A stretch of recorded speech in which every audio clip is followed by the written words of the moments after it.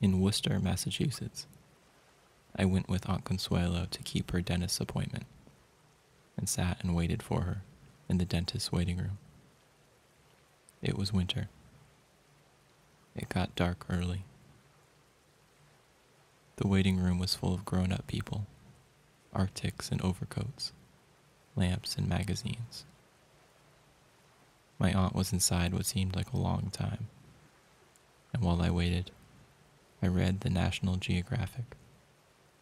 I could read and carefully studied the photographs. The inside of a volcano, black and full of ashes.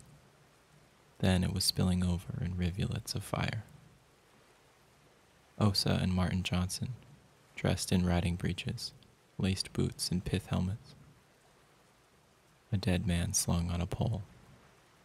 Long with pig, the caption said. Babies with pointed heads wound round and round with string.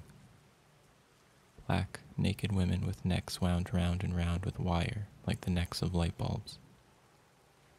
Their breasts were horrifying. I read it right straight through. I was too shy to stop.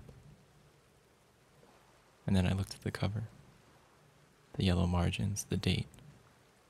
Suddenly, from inside came an oh of pain. Aunt Consuelo's voice, not very loud or long. I wasn't at all surprised. Even then, I knew she was a foolish, timid woman. I might have been embarrassed, but wasn't. What took me completely by surprise was that it was me, my voice in my mouth. Without thinking at all, I was my foolish aunt. I, we, were falling, falling, our eyes glued to the cover of the National Geographic, February 1918. I said to myself, Three days and you'll be seven years old. I was saying it to stop the sensation of falling off the round, turning world into cold, blue black space. But I felt, You are an I. You are an Elizabeth. You are one of them. Why should you be one too? I scarcely dared to look to see what it was I was. I gave a sidelong glance I couldn't look any higher. At shadowy gray knees, trousers and skirts and boots and different pairs of hands lying under the lamps.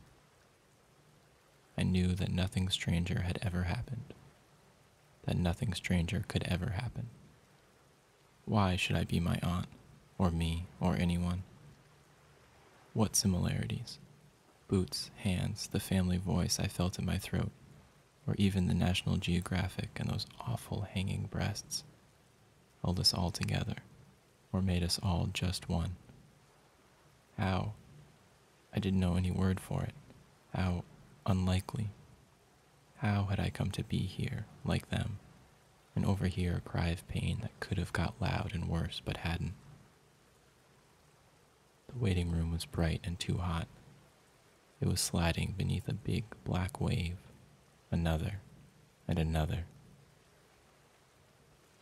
Then I was back in it. The war was on. Outside in Worcester, Massachusetts, were night and slush and cold, and it was still the 5th of February, 1918.